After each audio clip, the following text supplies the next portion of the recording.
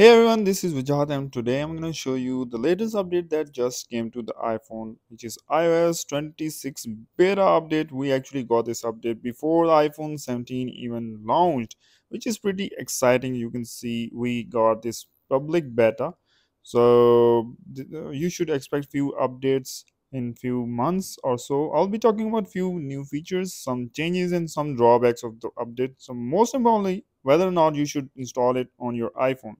So first of all, let's talk about the theme itself. The main thing that changed is overall look. So Apple has introduced crystal layout look. You can see through the icons, menus, and it uh, it's a glass-like feel. Personally, I really liked it. I've been waiting for something like this since it was introduced few years ago on Samsung and some Android phones. It's finally on iPhone, and honestly, it looks really great. As you can see, when I move around the icons, they have been slightly revamped. Their appearance has changed. Even the dialog boxes um, are now transparent. So when I pull up pull out the menu, it has the same glass-like effect uh, like the rest of the theme. So let's talk about the other changes that came with iOS 26 update. First of all, I'll open the Photos app and you'll notice slightly updated, not a major redesign, but there are a few tweaks. At the bottom, you'll see there's a search icon uh, that lets you search for images um, and you'll also see a selection like collection and library at the bottom on the top there's a new filter menu that lets you filter according to favorites edited photos videos and so much and so on. So you can um, filter your images however you like.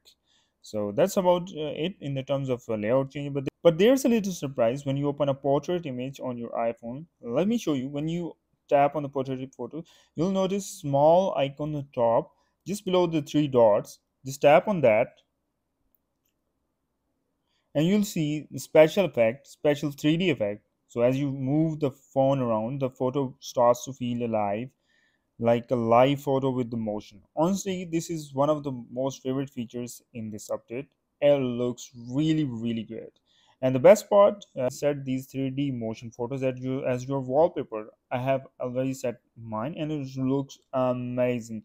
I've seen similar features on other phones, but I didn't expect it Apple to bring uh, this update like that. So this feature is really definitely a win-win for me. Now let's explore some other apps uh, system changes uh, starting with the setting menu. Uh, visually there aren't a lot of major changes but there are a few noticeable tweaks First, the search bar in the settings has been moved uh, to the bottom of the screen as you can see. In the previous uh, iOS version, you had to swipe down to reveal it, but now it's uh, visible, which makes uh, navigation through the menu quicker and easier. Inside the settings, uh, if you go to the battery, go to the battery section, and you'll see some updates are there too.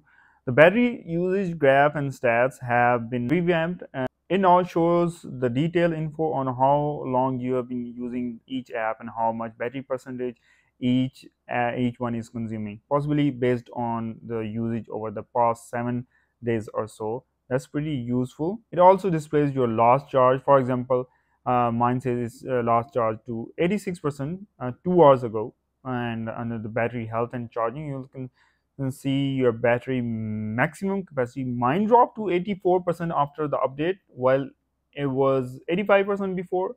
So that's something i noticed. Unfortunately the biggest issue i've faced with ios 26 is the battery drainage issue the battery is draining much faster now for example i was at 86% um, two hours ago now i'm right down to 58% with the barely any usage. Uh, that's a big drawback and honestly I don't like that at all.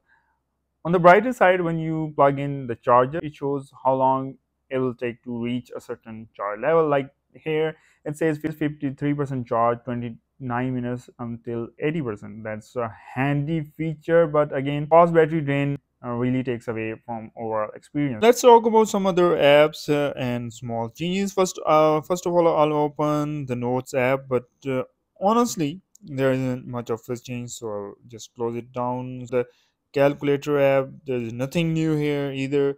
Um, next, I'll check the clock app.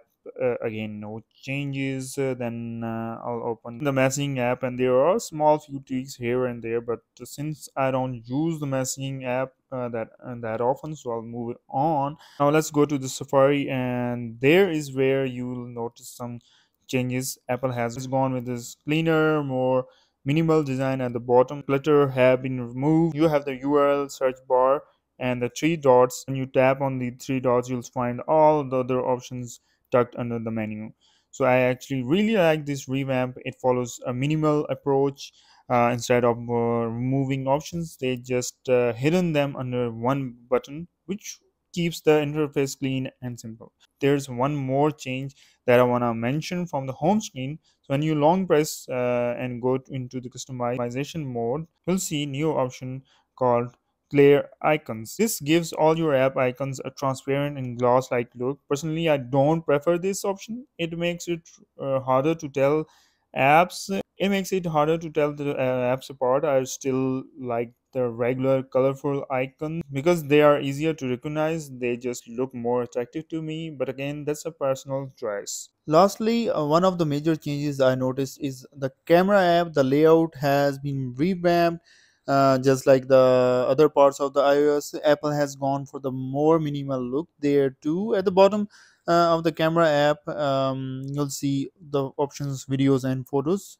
You might be wondering where are other modes like portrait, cinematic, slow motion. Well, they are still there. Just they are just hidden. If you tap and hold either one of the photos or videos at the bottom, the rest of the options will pop up. Everything is still available, just tucked away in a cleaner interface. The best feature in the camera app is ability to change resolution uh, and frame rates to right from the top. You no longer have to dig into settings or tap around repeatedly. Now you have uh, option to simply tap on the resolution display and choose between 4K and HD um, and frame rates like 60 fps, uh, 24 fps or 30 fps uh, and all with just one tap. I really like this redesign of the camera app. It feels more professional and it gives you quick access to essential controls and that's pretty much from the camera app changes. Now let's talk about few drawbacks and bugs that I noticed in this update. First of all, the main menu. It feels choppy and laggy, which I really don't like. It used to be smoother before the update. Now it's slight stutter, and that's not the iPhone experience we expect. Another issue that I noticed uh, is the transition especially when after unlocking the uh, iphone there's a slight delay before it takes you to the home screen it's like it's stuck thinking for the moment and it's really annoying because iphones are known for their smooth performance hopefully apple will fix this in the next beta or stable release as I mentioned earlier, that there's also battery drainage issue. It is honestly the most frustrating part. Your phone loses charge way too fast, even without doing much. Your phone loses charge way too fast even without doing much. It drains like crazy and nobody wants their phones to die so quickly. Another bug that I came across is in the Photos app. When watching the videos, uh, if you play a video and uh, if you play a video and then minimize and close it, the audio keeps playing. Audio keeps playing in the background. Uh, even if you open another video, the previous uh, one sound still continues, which makes no sense when you close the video. It should stop. That's definitely something Apple needs to fix. So that's it for today. Uh, I shared uh, all of the major changes and drawbacks I found in the iOS 26 update. Of course, there are many small tweaks and changes that I didn't cover. Otherwise, the video will go on forever. Uh, but I focused on most important ones. I hope you enjoyed this video. If you have any question, feel free to drop in the comments and I'll try to reply. Thank you so much for watching. Take care and bye bye.